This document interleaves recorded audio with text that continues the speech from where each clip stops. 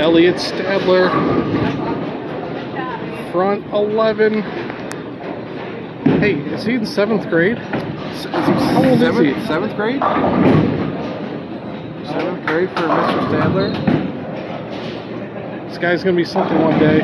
He We've been is. saying it for a while. Look, look it's, the guy he's bowling against shot 250. You know he doesn't have a chance.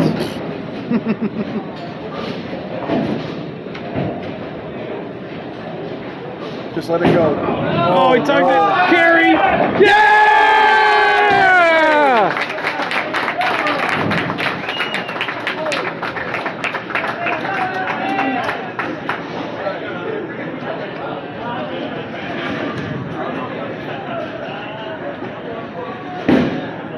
That's why I said I'm like, let it go. Yep. That's good. It's fancier to see that too. That's awesome.